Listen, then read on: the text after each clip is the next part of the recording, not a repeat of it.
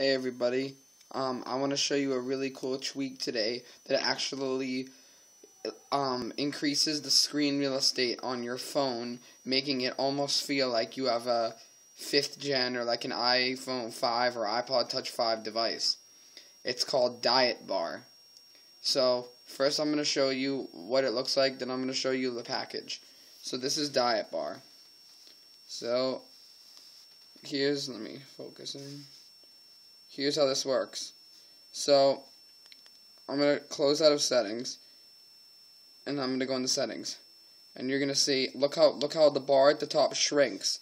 So it makes your phone screen actually appear to be bigger because you have more space. So I'm going to show you how this works. So you see this works for every app. Like if I go into Twitter, look how skinny the bar is at the top. And I can show you by closing Twitter what the bar looks like before you close it.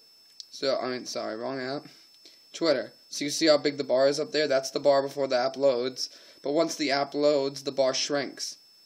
So it om- it honestly feels like you have an iPhone 5 when you have like a 4S or a 4 because the, you have so much more space, more apps display.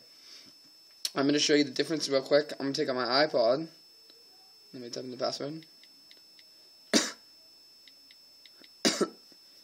Alright, well, why Alright, here we go. So look at the look at how big the bar is at the top, and now look at how it is on my iPhone. See the difference in the two bars? Put them next to each other. You can see how the the, the, the iPod that doesn't have diet bar is really big. So this, if you see, legitimately more gets displayed. You see, I can see all the way down to brightness and wallpaper, and on this, if you scroll down, you see that so you see how uh, well this isn't a good example because I have more things up here than I do on this, but a good example of this would be like Twitter. So let's go to Twitter on both devices. I'm sorry, not the best way to do this. All right, now you can see if I also I'll go right to the top on Twitter, and then we'll go right top on this. Now you can legitimately see that I see the whole funny tweets tweet, and on this one it gets cut off at the bottom, so it legitimately gives you more space. and you can see the bar on the on the on the iPod is a lot bigger than the bar at the iPhone.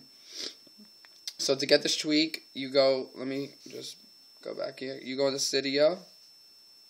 Sorry that the camera really sucks, like the angles of it, but you know. It's called Diet Bar. This is it. It's free. So go pick that up. And now all your bars will be small. So you go into photos, look how small the little bar is. It might look normal to you, but go look at your device that doesn't have diet bar, and you'll see how the, the, the bar at the top is really, really um, much larger than that. It's like double the size. Um, you can go into things like, not in stocks. Um, what's an app that I can show it to you in? Um, Safari, maybe? Not Safari. Instagram. Here we go. Yeah. All all these apps, the bars shrink at the top. So that's really really cool. Um, photo, email shrinks at the top.